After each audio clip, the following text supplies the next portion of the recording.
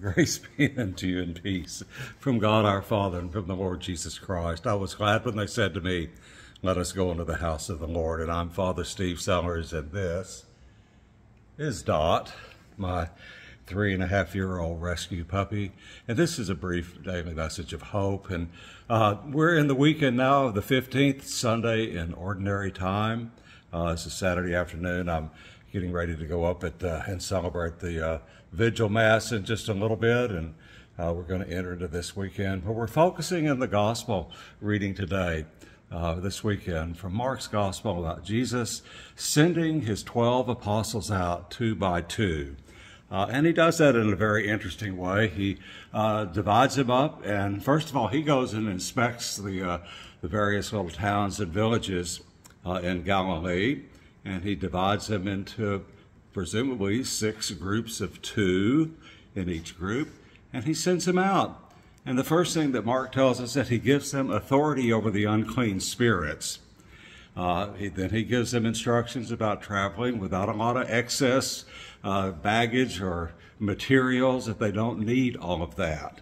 What they need is the authority that he gives to them. And uh, when he passes this authority to them, uh, he tells them that they are to, to uh, preach forgiveness, repentance uh, unto the forgiveness of sins turn away from sins.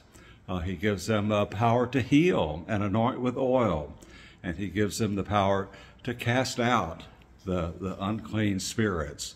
And interestingly enough, Mark uses a word that's uh, all the way through the New Testament, and it, uh, uh, means a lot to me. I don't think a lot of people make a big deal out of it, but the authority in Greek that is used, the word is exousia uh, not auctoritas or any of those are exercising power. It's uh, the word ousia, which means being or self, uh, person, uh, and ex meaning out of.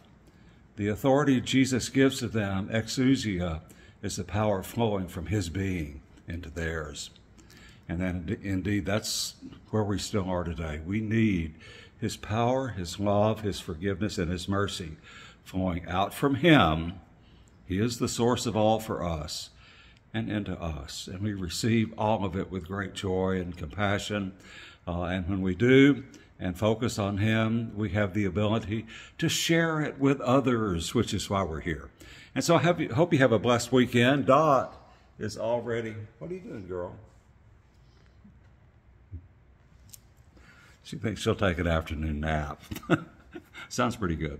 Have a blessed weekend, and God willing, Dot and I will see you Monday.